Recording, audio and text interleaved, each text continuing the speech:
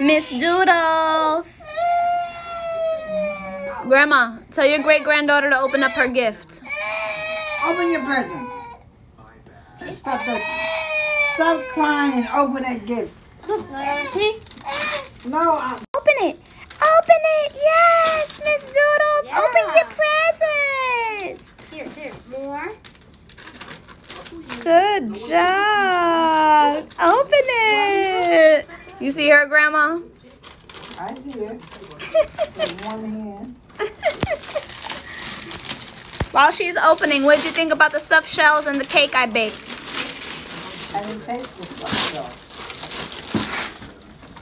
though. The what? The cake was good. Look! Wow! Look at you, Miss Doodle! Wow! That's your present!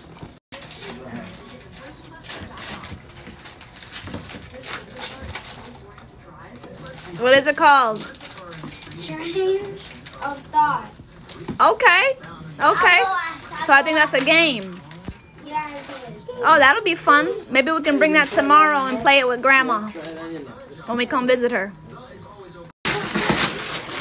Yay! Oh no.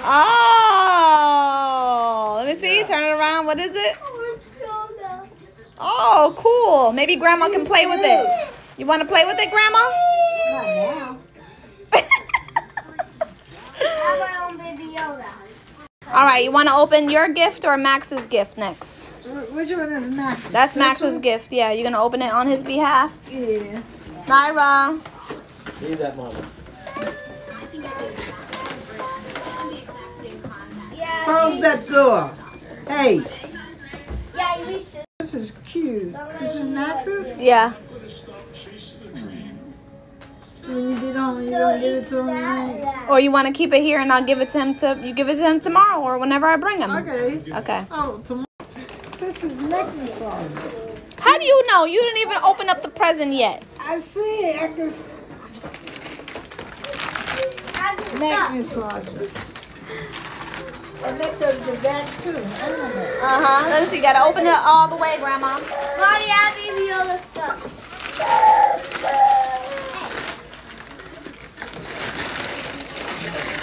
That's not a lot, that mama. I'm trying to see what you got. What you got, Grandma? I'm a massager, another massager. Oh. Oh, hell yeah, I know that. And you gotta put your supposed to put your arms through this, Do it. through here.